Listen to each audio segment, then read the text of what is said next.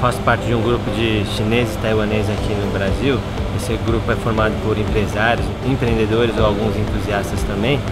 E aí surgiu durante essa conversa de pandemia, né? O que a gente pode, como descendentes chineses de colônia China e Taiwan, ajudar aí a população brasileira durante esse período.